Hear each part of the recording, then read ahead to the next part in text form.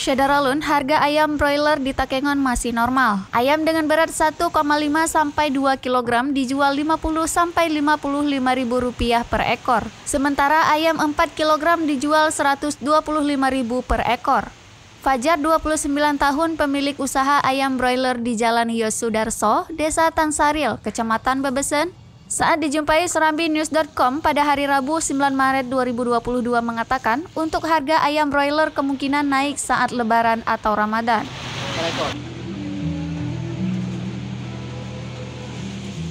Pasokan ayam untuk kawasan Aceh Tengah biasanya didatangkan dari kota Lok Semawe.